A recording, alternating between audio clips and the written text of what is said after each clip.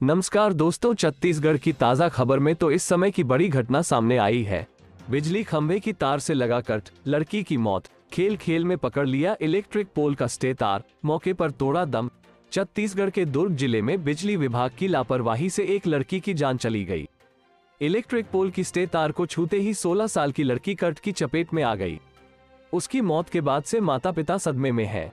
भिलाई तीन पुलिस मामले की जाँच कर रही है। भिलाई तीन थाना के टीआई मनीष शर्मा ने बताया कि विश्व बैंक कॉलोनी सेक्टर एक निवासी मिंटू शील की बेटी विनीता शील की बुधवार दोपहर एक बजे कट लगने से मौत हो गई। वो दसवीं की परीक्षा दे रही थी। बुधवार सुबह वो अपने घर के पास दूसरे बच्चों के साथ खेल रही थी। खेलते खेलते उनसे अचानक बिजली के पोल में लगे स्टे तार को पकड़ लिया। तार में कट होने से वो उसमें चिपक गई। जब वो तड़पने लगी तो लोगों ने उसे देखा और बचाने के लिए दौड़े। जब तक लोग उसे बचा पाते, वो पूरी तरह से झुलस गई और उसकी वहीं पर मौत हो गई। सूचना मिलते ही भिलाई तीन पुलिस मौके पर पहुँची। बिजली सप्लाई को बंद कराया गया। इसके बाद शव को वहाँ से हटाकर पंचनामा किया गया। पुलिस ने शव को पोस्टमार्टम के लिए भेजकर मामले की जाँच शुरू कर दी है। विनीता मिंटू शील की इकलौती बेटी थी। इसके चलते पूरे विश्व बैंक कॉलोनी में शोक व्याप्त है। बंगाली समाज के लोगों ने मोहल्ले वासियों को एकजुट किया और इसके बाद भिलाई तीन थाने का घेराव किया। उनका कहना था कि स्टे तार में कट आना बिजली विभाग की लापरवाही को दिखाता है।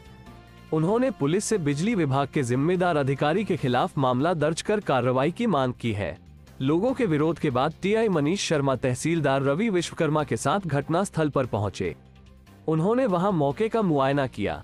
उन्होंने देखा कि वहाँ सड़क किनारे लगे पेड़ों की डाल सीधे बिजली की वायर को टच कर रही है।